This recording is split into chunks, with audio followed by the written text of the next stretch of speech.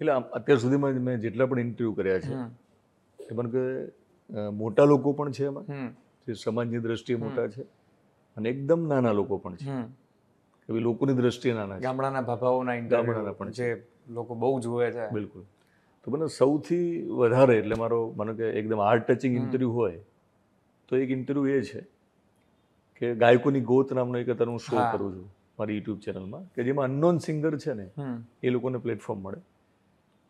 એમાં શંખેશ્વરમાં એક પિંકી વાઘેલા નામની દીકરી વાલ્મીકી સમાજની. એ જ રીતે એકાદ વીક પહેલાં હું જ્યારે લખતરમાં એક ઇન્ટરવ્યૂ કરવા ગયો રિંકુ કરીને છોકરી હતી એ દલિત હતા. તો એને પપ્પા પેલું મિનરલ વોટર લઈને આવ્યા. ચાલુ ઇન્ટરવ્યુ એ. મને લો સાહેબ પાણી પીવો. એટલે મેં કીધું આ કેમ? તો બસ તમારા માટે. એટલે બધું હું તો હવે મને પેલું તમે ઘોડાનું પાણી પીવડાવો ને અને ચા પીવડાવે રિંકુ રસોડામાં તો ઇન્ટરવ્યુ કરીશું આપણે. એ લોકો સમજી ગયા. એમને સંકોચ હતો ને કે પીશો કે નહીં પાણી મારા ત્યાં? એટલે મારા માટે આ એટલા માટે યાદગાર ઇન્ટરવ્યુ છે કે આપણા આપણા આટલા વર્ષો પછી પણ કોઈ એક વ્યક્તિને એવું લાગે એક અંદરથી એક મનુષ્યને એવું લાગે કે બીજો બીજો મનુષ્ય મારું પાણી પીશે કે નહીં. એટલે તે દિવસે મેં પહેલી વાર એ મારી પોલિસી નહોતી. હું રિંકુ રસોડામાં આદુ વાળી ચા બનાવે છે. હું ચા પીવું છું ને મેં ઇન્ટરવ્યૂ કર્યો. એ લોકોએ નોટિસ કર્યું. અને એના વિશે કોમેન્ટ બહુ પોઝિટિવ આવી. તો પછી મારી પોલિસી ના બનવી જોઈએ.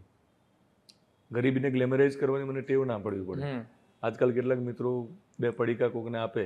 હા અને પછી રીલ શૂટ કરે પાછા. તો રીલ શૂટ કરીને બહુ મોટી એટલે ઈરાદો સારો હોય તો તમે સોશિયલ. મીડિયામાં મૂકો. જેમ માનો કે મિત્તલ પટેલ છે વીએસએસએમ વાળા. એ પોસ્ટ મૂકે છે તો મૂળ ઈરાદો એવો છે કે લોકોને મદદ મળવી જોઈએ. પણ કેટલાક લોકો એટલા માટે પોસ્ટ મૂકે છે કે એ મોટા થાય એમની ફી વધે ઇન્ફ્લુઅન્સર તરીકે. ફોર એક્ઝામ્પલ એક મકાન બનાવે અને પાંચ મકાનની પબ્લિસિટી લઈ જાય. લોકોને ખબર ના હોય બધી. તો એ ઈરાદો ખોટો. એટલે હું ગરીબીને ગ્લેમરાઇઝ કરું ને તો મારો શો વધારે જોઈએ પણ એ મારે એ મારે ના કરવાનું હોય. એ બધું સહજ પ્રક્રિયા હતી. એ જ રીતે પિંકીનો ઇન્ટરવ્યૂ કરવા હું જાઉં છું. શંખેશ્વર. તો ઇન્ટરવ્યૂ કરી લીધો ત્યાં સુધી મને પાણીનું ના પૂછ્યું કે ચાનું ના પૂછ્યું. તો મને તો એવી ખબર પડે ને કે આ લોકો આપણને તો આટલો બધો પ્રેમ કરતા હોય તો તમને કેમ ના પાણીનું પૂછે? હું તો એક પણ રૂપિયો લીધા વગર ઇન્ટરવ્યૂ કરું છું આ લોકોના. એ લોકો પૂછે કે સાહેબ તમારા આવવા જવાનો ખર્ચો મેં એ પણ નથી લેવાનો. તો બધું પાણી નહીં પીવડાવો પિંકી એટલે એને ખબર હતી કે હું તો વાલ્મીકી છું ને કઈ રીતે તમને પાણી પીવાનું કહું? એમ બધું એક કામ કરો ચલો આપણે પાણી તો પીશું જ આપણે પણ આદુવાળી ચા બનાવી છે. હા. ફરી એ રસોડાવાળો સીન હતો.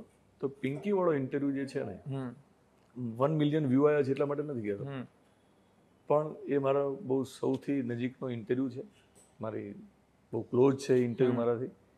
કારણ કે એમાં બહુ સરસ અવાજ પણ એક નાના સમાજમાંથી આવે છે.